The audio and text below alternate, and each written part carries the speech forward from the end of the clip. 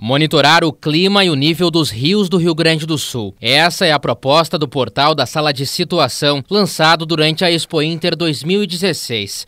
Isso, as próprias populações podem se organizar, planejar para mitigar os seus efeitos. Na agricultura, isso é uma ferramenta muito útil porque nós poderemos dar uma previsão com três meses de antecedência. O produtor pode planejar o plantio, a colheita, o manejo do seu rebanho, se vai irrigar ou não, tudo isso aumentando a nossa produtividade e baixando os custos. Pelo portal sala de situação.rs.gov.br é possível ter acesso a boletins climáticos diários, semanais e até mensais para as principais cidades do estado. A ferramenta também emite avisos à Defesa Civil sobre eventos extremos, com antecipação de até três dias. Diante dessas informações com certa antecedência, a Defesa Civil, através da sua rede, principalmente com as defesas civis municipais, pode orientar as populações a se mobilizarem e tomarem medidas é, para evitar ou minimizar possíveis danos é, decorrentes de desastres naturais.